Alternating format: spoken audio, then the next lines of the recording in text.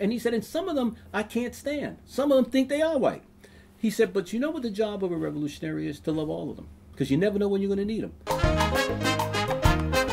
So, how did you connect with Rap Brown? I have never met a more courageous, more compassionate, more fearless warrior in my life than Rap Brown. He was literally afraid of nothing. Rap Brown was the man that I wanted to be. He was the hunter that I wanted to be. He was the spirit head of a clan. Um, he was wise. And he loved black people.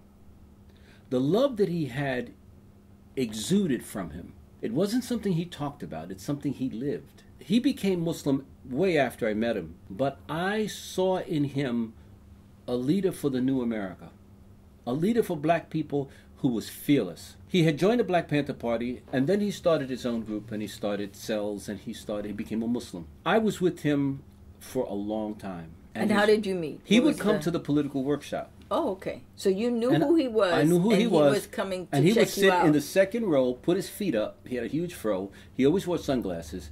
And he would make the not snide remarks, they were the most hilarious remarks that would have the class cracking up. I couldn't stop him. And he didn't contradict me, he would just question. And remember, the sign of a good mind is not the answer, it's the question. One day, a Puerto Rican came in and started discussing or uh, protesting the fact that we were defining ourselves as black. And Rap, in his Louisiana drawl, said, Brother, let me, let me explain something to you. If you in Louisiana and you try that stuff, you get killed just as soon as a black man. You are nothing but a Spanish nigger. And the guy was in shock. I almost fell on the floor laughing because I already knew what the deal was. He, he didn't humiliate him. Rap refused to humiliate people. He felt that that was actually moving them away from revolution. But he said, come on, man, we all in this together. It doesn't matter what kind of nigga you are. You could be Spanish speaking nigga, French speaking nigga, Papiamento speaking nigga, Portuguese speaking nigga. Ebonic speaking nigga, you black. I developed a love for him, and we would hang for hours. We would walk the streets of Harlem.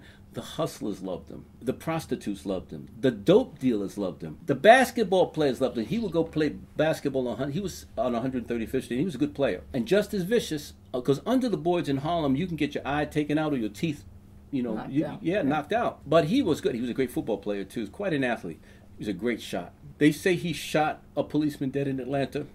I think they, they played this game very well. Uh, I don't know if he was hiding somebody and they wanted to get him, but they came to get him for the most ridiculous reasons uh, false impersonation and a, a badge. He was impersonating an officer. They wanted him dead. And the reason they wanted him dead is because he hit, was controlling a piece of Atlanta that the real estate developers wanted. And they couldn't sell drugs wherever he was. He had turned Muslim already. And when you went into his enclave in that particular part of Atlanta, the peace that you felt, you knew you were safe.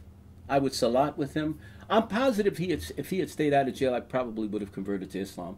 He was that powerful with me and to me. As it turns out, we ended up becoming great friends. I met his family. I met his in, in Baton Rouge, Louisiana. Interesting story about that. I had um, some problems with uh, the Lords right before Rap and I became very close, and right before the, I joined the Lords uh, or the Sociedad del Campos. I wasn't sure that I wanted to be part of them, but Rap told me that if they were coming to me, it was God's way of telling me I had to organize the Puerto Rican community. I said, Rap, they're not ready. And he said, It doesn't matter. Your job is to get them ready. I was just aghast at it.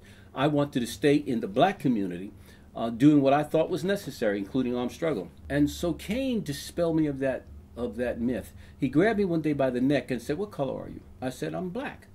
He said, "No, what color are you?" Literally, and I c- was kind of taken aback by his bluntness, by his fury. And so he grabbed me by the neck and threw me against the wall. He said, I want you to describe exactly what color you are. And I said, I'm brown. He said, oh, Isn't that cute? You're brown. What kind of brown? I said, Well, cafe au lait. He said, well, That's even cuter. That's even cuter. And he said, I'm black. I'm the kind of black that white folks are scared of. I'm the kind of black who also speaks back, who's bright, who they are terrified of. He said, You better understand who you are. You are Puerto Rican, and what you need to do is go back to your community and deal with the contradictions therein. It's not that we don't need you, we love you, but your job is done here.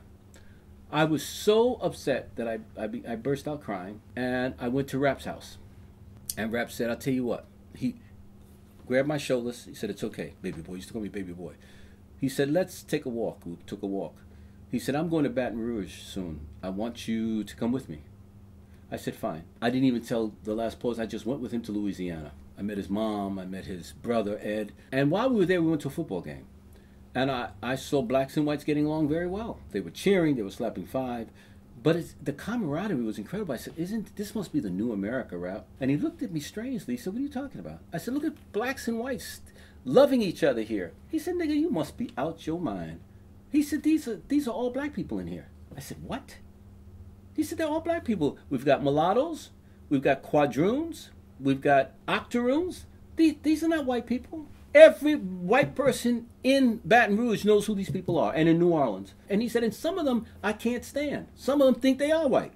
He said, but you know what the job of a revolutionary is? To love all of them. Because you never know when you're going to need them. When you're talking about who's black and who's not, what Kain was telling you was to go into a community organize. Don't get caught up in who's more militant and who. Work at organizing the the community. Because Felipe, everybody has their role. Play yours. So I came back. He drove me back to East Harlem, and I'll never forget it. He put me right in front of the office. I hugged him. He said, "Good luck, bro," and that was it.